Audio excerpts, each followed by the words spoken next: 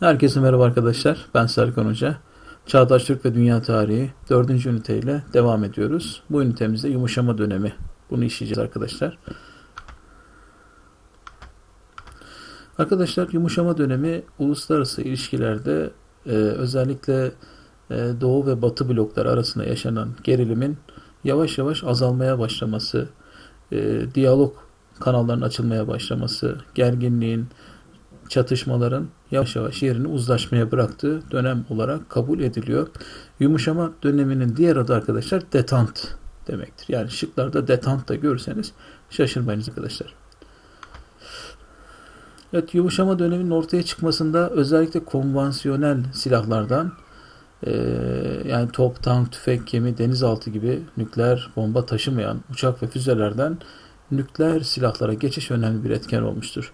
Yani özellikle SSCB ve ABD nükleer silahların kendilerine verebilecek zararı öngörmüşler ve yavaş yavaş ne yapmışlardır arkadaşlar?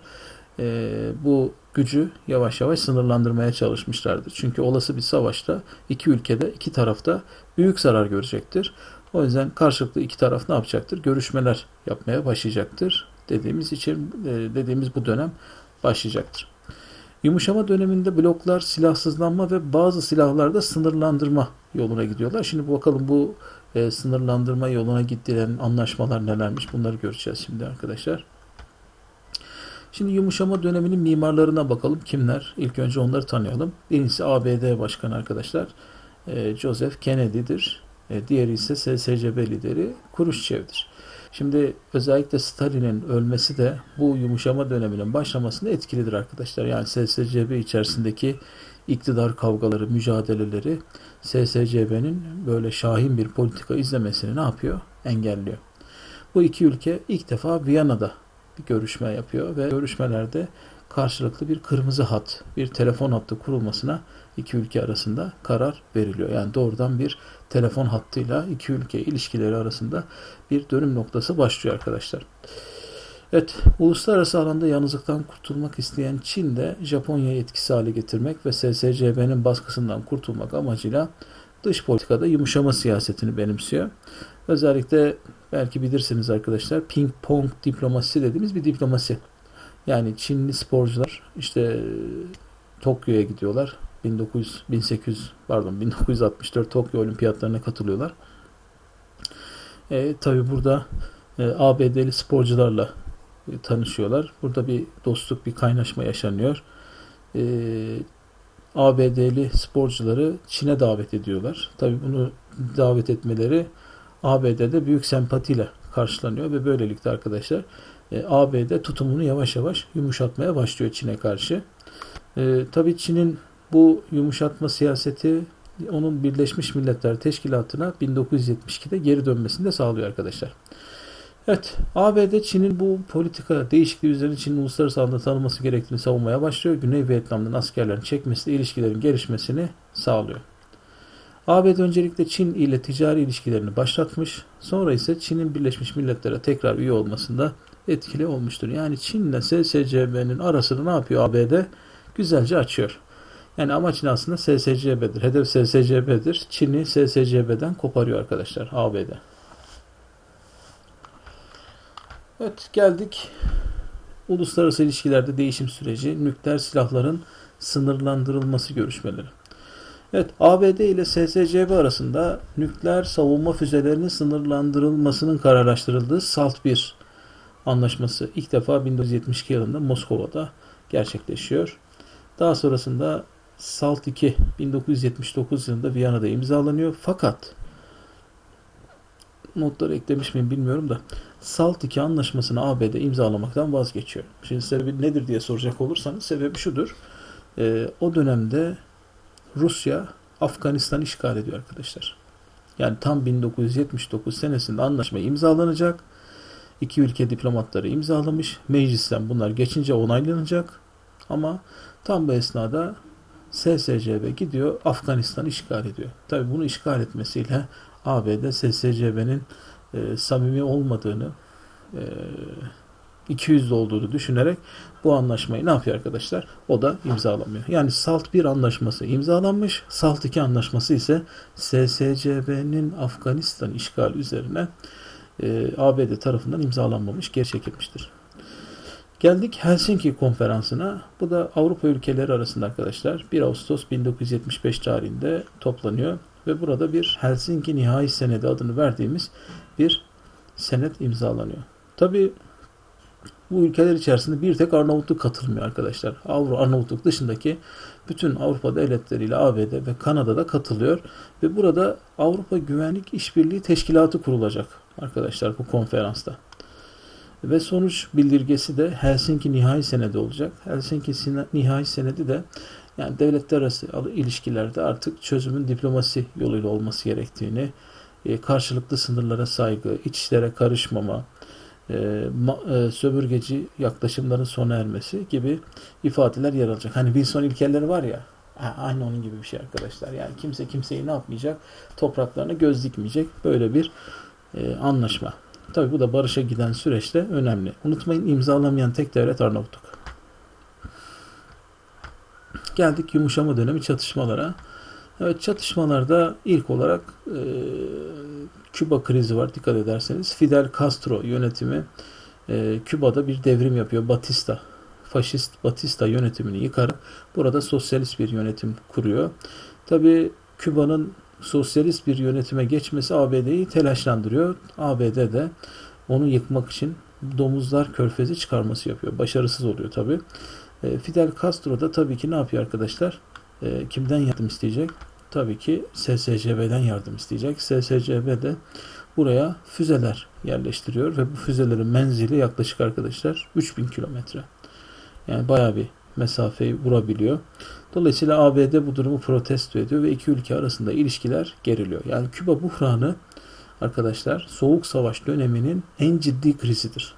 Yani iki ülke savaş tehlikesi yani savaş ihtimalinin en yakın yaşadıkları olay Küba buhranıdır. Sınavda çıkabilir arkadaşlar. Tabi şimdi bu olay bizi de ilgilendiriyor. Neden ilgilendiriyor? Çünkü çok enteresan. Şimdi ABD e, SSCB'den derhal diyor füzeleri kaldır diyor. Kaldır git diyor yani. E, tabii bunun üzerine SSCB de diyor ki sen diyor kardeşim sen Türkiye'deki Jüpiter, Jüpiter füzelerini sök söktür git biz de ne yapacağız? Küba'daki füzeleri ne yapacağız? Kaldıracağız. Tabi ABD ne yapıyor arkadaşlar? Türkiye'ye şöyle bir nota veriyor. Diyor ki ya diyor Türkiye canım kardeşim sendeki füzeler eskidi. Biz onları yenileyelim. Sana yenilerini göndeririz daha sonra diyerek bir bahaneyle bizdeki füzeleri söküyor arkadaşlar. Tabi bu füzeleri sökmesi bizim savunmamızı ne yapıyor? Zayıflatıyor. Ve bu durum Türkiye ile ABD ilişkilerini olumsuz etkiliyor maalesef. Dediğimiz gibi arkadaşlar ABD'nin bize burada büyük bir kazı söz konusu. Geldik Vietnam Savaşı'na. Arkadaşlar daha önce Fransa'nın bir sömürgesi olan Vietnam, Cenevre Anlaşması ile Kuzey ve Güney Vietnam altında adı altında ikiye bölünüyor. 1957'de Cenevre Antlaşması ile Vietnam birleştirilmesi kararı alınmasına rağmen Güney Vietnam birleşmeye karşı çıkıyor. Ya diyor kardeşim bizim rahatımız yerinde. Biz Kuzey ile birleşmek istemiyoruz diyor. Tabi Kuzey Vietnam Viet Cong'lar yani Vietnamlı savaşçılara Viet Cong diyorlar. Gerilla savaşı başlatıyor. ABD de ne yapıyor? Sanki kendi savaşıymış gibi e, tüm dünyanın polisi ya, jandarması ya gidiyor Vietnam arkadaşlar doğrudan kendi askerlerini sokuyor ve burada ne yapıyor arkadaşlar? E, büyük bir savaş başlatıyor. Tabi kazanamayacağı bir savaş. Çünkü ABD burada adeta bir bataklığa saplanıyor. Tıpkı SCB Afganistan'da bir bataklığa saplandığı gibi ABD'de burada bir bataklığa saplanıyor ve yıllarca burada büyük kayıplar vererek, büyük paralar harcayarak birçok insanın hayatını kaybetmesine, e, sakat kalmasına sebep oluyor. Evet, tabi bu ABD'nin bu savaşın bu kadar uzaması ABD'de de iç siyasette de çok büyük tepkiye sebep oluyor. Özellikle büyük şehirlerde, üniversitelerde eylemler, savaş karşıtı eylemler başlıyor. Ee, bunlar içerisinde bir de kim var? Ee, Muhammed Ali var. Kendisi boks lisansı iptal ediliyor. Neden iptal ediliyor? Çünkü diyor ki bana diyor Viet Cong'lar bana ne yaptı ki ben gideyim onlara savaşayım diyor. Gitmiyor. Onlarla savaşmıyor. Askere alınmasına itiraz ediyor ve tabi vatandaşlıktan bile çıkarılması gündeme geliyor. Adam 5 yıl hapis cezasına çarptırılıyor. Boksörlük lisansı iptal ediliyor. Türlü hakarete uğruyor. Ama tabi şu an adam kahraman. Savaşın sembol isimlerinden birisi arkadaşlar. Sınavda çıkar. Unutmayın. Muhammed Ali. Ünlü boksör. Evet. Bu ve burada da söylüyoruz. Ee, SSC ve Çin'in ABD ile yakınlaşması üzerine Vietnam barışı Paris'te imzalanıyor. Bu anlaşmayla arkadaşlar ABD Vietnam'dan çekiliyor. Karşılıklı olarak esirler geri veriliyor. Kuzey ve Güney Vietnam arasında yapılacak görüşmelerle birleşme gerçekleşecek. Tabi e, Kuzey Vietnam ilk fırsatta ne yapıyor arkadaşlar? Güney Vietnam'ı işgal ediyor. Tabi ABD burada 7 milyon ton napalm füzesi, bombası kullanıyor arkadaşlar. Burada uzun yıllar bitki bile yeşermiyor. Evet, böylelikle 1976'da iki devlet birleşiyor. Vietnam Sosyalist Cumhuriyeti adını alıyor. Geldik Keşmir meselesine. Keşmir meselesi 1947 yılında biliyorsunuz Hindistan'la Pakistan devletleri kuruluyor. İngiltere tabii ki son kazığını da bu devletlere şöyle atıyor. Müslümanların çoğunlukta yaşadığı toprakları Hindistan'a bırakıyor. Ee, ve böylelikle iki ülke arasında ihtilaflı bir sorun bırakıyor. Yani amacı zaten İngilizlerin bölgede böyle bir e, sorun bırakarak iki ülkeyi de kendisine bağımlı hale getirmek. İngilizler bunu hep yapıyor zaten. Keşmir arkadaşlar zengin, verimli tarım arazilerinin, maden yataklarının bulunduğu bir bölge. Haritada da görüyorsunuz arkadaşlar. E, Heşmir aslında şu an üç parçaya bölünmüş durumda. Bir parçasını Çin işgal etmiş, bir parçası Müslümanların özellikle %90 Müslüman nüfusu olan ve şu an birçok zulmün yaşandığı bölge görüyorsunuz arkadaşlar. Hindistan'ın kontrolünde. E, maalesef Hindular sürekli buradaki Müslümanları taciz ediyor. Sürekli bunları Müslümanları öldürüyor. Biliyorsunuz Hinduizm'de inek kutsaldır. E, Tabi Müslümanlar da et yiyorlar. Et yedikleri için arkadaşlar e, Müslümanların Müslümanlar da can düşmanı oluyorlar tabii ki. Maalesef bugün halen Hindistan'da bu kıyım yaşanıyor. Sebebi ise Keşmir sorunu dedik.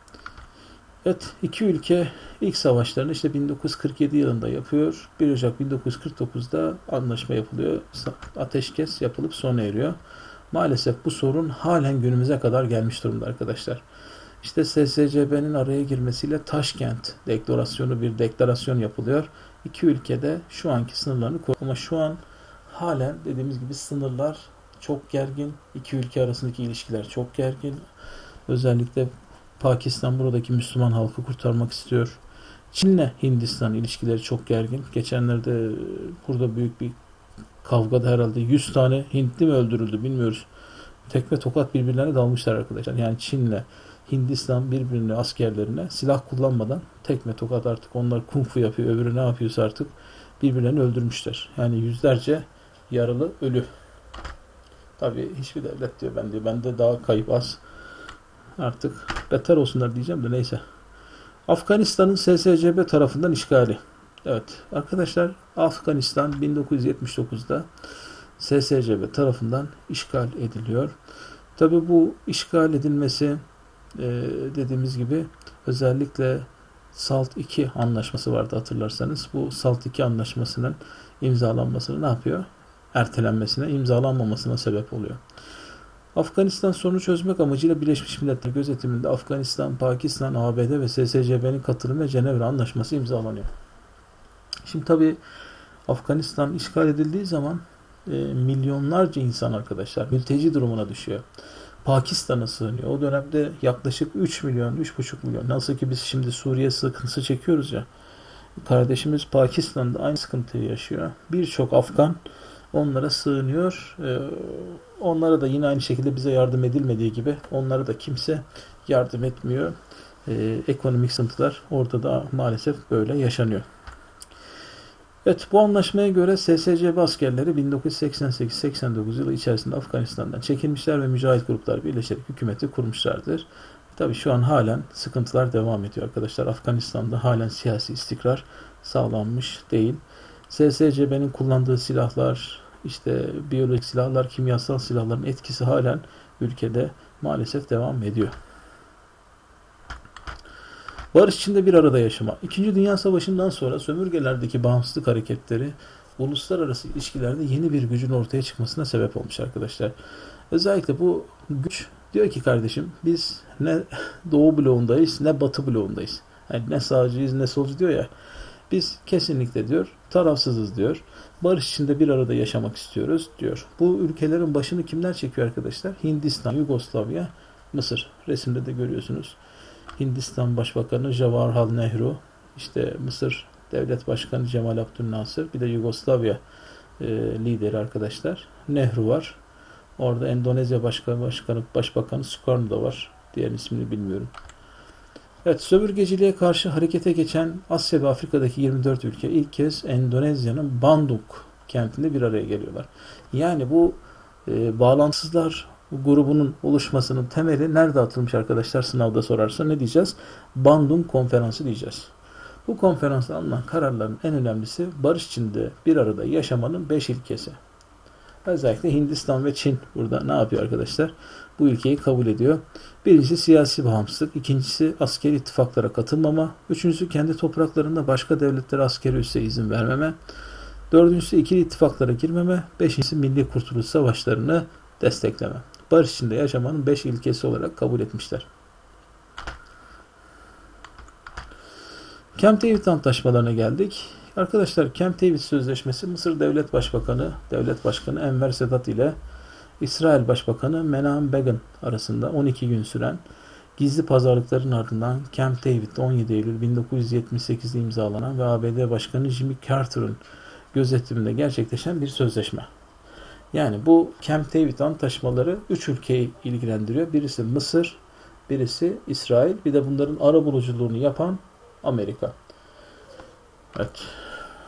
İsrail ile Mısır arasında Filistin meselesi ve iki ülke arasındaki barış esasları imzalanıyor. Bu sözleşme ile arkadaşlar ilk defa bir Arap ülkesi, bir Müslüman Arap ülkesi İsrail resmen tanıyor. Zaten Enver Sadat suikast öldürülecek arkadaşlar bu anlaşmayı imzaladığı için. Arap ülkeleri tabii ki doğal olarak Mısır'a tepki gösteriyor. Filistin davasını satmakla suçlanıyor arkadaşlar. Evet, yumuşama döneminde dünyaya bakıyoruz. Ekonomik hayat, bilim ve teknoloji ilerlemeleri sanayide kullanılması dünya ekonomisinin gelişmesini sağlıyor. Petrol, elektrik ve otomotiv sektörlerinde üretim önemli ölçüde artıyor. E, işsizlik oranı da düşüyor. Reklam sektörü gelişiyor. Radyo ve televizyon önem kazanıyor. Uydu teknolojisi sayesinde ilk kez 1964 Tokyo Olimpiyatları arkadaşlar canlı olarak tüm dünyaya ulaştırılıyor. Evet, bilimsel ve teknolojik alandaki gelişmelere bakıyoruz. ABD Ulusal Havacılık ve Uzay Dairesi yani NASA kurularak ilk uydusunu uzaya gönderiyor. Rus kozmonot Yuri Gagarin Vostok 1 uzay aracıyla ilk kez uzaya gidiyor. Yanda resmini görüyorsunuz arkadaşlar. Evet. Dişlerim o yandaki resmi bilemiyoruz artık herhalde. Dişleri değildir herhalde. O kadar büyük dişleri yoktur. Amerikalı astronot Neil Armstrong ilk kez Ay'a iniyor arkadaşlar. İlk kişisel bilgisayar 1970'te üretiliyor. İlk olarak ABD'li bilim adamları arasındaki iletişimi sağlamak amacıyla deneme niteliğinde ARPANET kuruluyor ve daha sonra bütün üniversiteleri araştırma kuruluşan bilgisayarları bünyesinde toplayarak gelişiyor. 1991'de ABD internetin ticari amaçla kullanılmasını engelleyen tüm kısıtlamaları kaldırıyor. Grafik web tarayıcı Mosaic'in devreye girmesiyle internetin bir alt kümesi olan World Wide Web, geniş dünya yıllık büyüme hızı artıyor. Evet, hızlı sanayileşme ve tarımda makineleşmenin artması sonucu köyden kente göç artıyor, kadının toplumdaki önemi artıyor. Bilimsel ve teknolojik gelişmeler ile gelecek konusundaki bilinmezlik edebiyatta 1960'lardan itibaren postmodern anlayışın benimsenmesine neden oluyor. Evet. Müzik alanında rock and roll tarzı bu dönemde de etkisini sürdürüyor arkadaşlar. Dönemin siyasi ve toplumsal sorunları dile getirmek amacıyla heavy metal müzik türü ve bu türün temsilcisi olan Rolling Stones grubu döneme damgasını vuruyor. Soyut resim, anlay- resim anlayışı devam ediyor. Türkiye 1971'de düzenlenen 6. Akdeniz oyunlarında ev sahipliği yapmıştır arkadaşlar. Evet. Bu videomuz buraya kadar arkadaşlar. Bir sonraki videoda görüşmek dileğiyle. Hoşçakalın.